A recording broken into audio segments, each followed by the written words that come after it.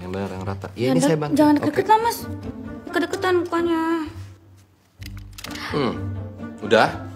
Kasiannya Jeng Rahayu, untung menantunya baik. Kalau enggak, siapa yang ngurus pemakamannya? Dia cerita semuanya sama gue. Gue tahu apa yang dia rasain, gue juga bisa ngerasain. Dia udah mohon, mohon lo buat ke sana nemuin bokapnya. ya bukan cuma itu, dia udah gak ada harapan lagi sama lo. Dia gak sepenuhnya salah inggit